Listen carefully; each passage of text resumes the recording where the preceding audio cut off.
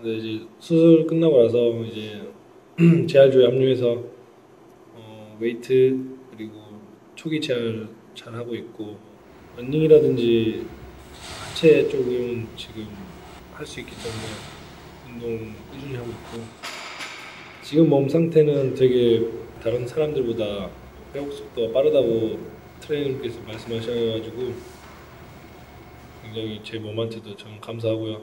부모님한테 감사하고 다 걱정하시고 계시는데 최대한 빨리 복귀를 해서 하고 싶은 마음이 굴뚝 같고요 일단은 빨리 낫는데 집중 또 집중하고 있습니다 다른 거 신경 안 쓰고 지금 상처 치료만 빨리 된다면은 배틀을 빨리 잡을 수, 잡을 수 있지 않을까 생각이 들어요.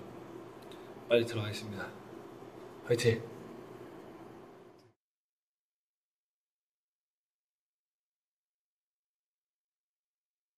으뜸이라든지 뭐 상혁이, 낙길이 등 중견수를 돌아가면서 보는 걸로 알고 있는데 애들이 회- 활약을 좀 많이 펼치더라고요.